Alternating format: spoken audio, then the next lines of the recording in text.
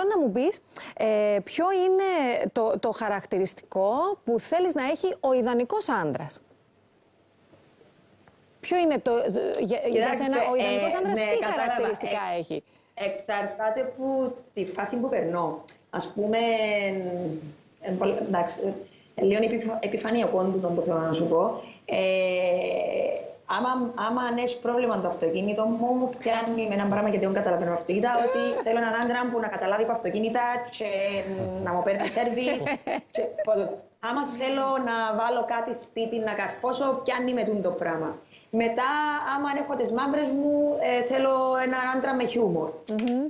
Δεν έχω κάποιον χαρακτηριστικό. Το μόνο που, που θέλω είναι να, να έχει ανθρωπιά μέσα. Ναι. Και ας έχει, ρε παιδί μου, τα χούγια του να το πω, τα, ε, τα αρνητικά όπως έχει κάθε άνθρωπος, αλλά να είναι άνθρωπος και να μένει όλα για την πάρτι του. Μάλιστα.